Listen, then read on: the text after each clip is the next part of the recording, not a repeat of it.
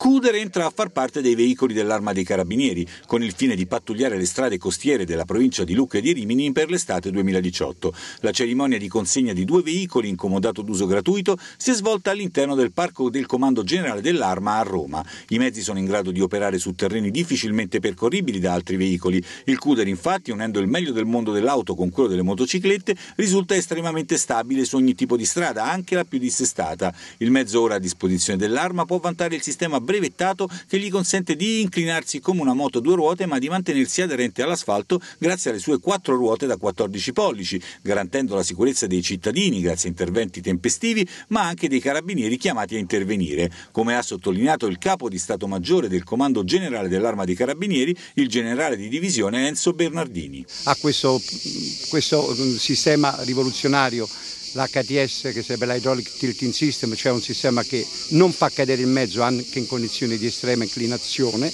e quindi il personale può operare in urgenza, può operare in sicurezza e può arrivare prima sul luogo dove è richiesta la sua presenza. Si avvia così una partnership importante tra Carabinieri e Quadro Vehicles, la casa produttrice di Cuder, presentato all'ultimo Salone di Ginevra, rivolta alla sicurezza e alla stabilità su strada, così come nello spirito di questo veicolo, che già guarda al suo sviluppo con motore elettrico. Il CEO di Quadro Vehicles, Paolo Gagliardo. Visto che siamo in lancio di questo prodotto, abbiamo pensato di eh, testarne eh, la, la sua abilità, le sue capacità eh, in tutte le circostanze e quindi questa dei carabinieri probabilmente è quella più importante perché? perché risolve tangibilmente dei problemi concreti dei clienti, quindi è una testimonianza reale del valore e della rilevanza del prodotto nei confronti di chi lo, lo acquista.